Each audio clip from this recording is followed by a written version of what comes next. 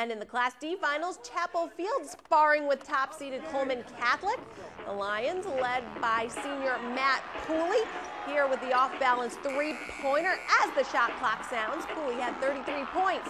Chapel Field up 13-12 after one. Coleman's Cody Vinson connecting from three-point land himself. Coleman would lead 31-29 at the half and outscore the Lions 24-11 in the third. Thanks to senior Corey Marshall, he led Coleman with 22 as they take the Class D title, 75 to 61.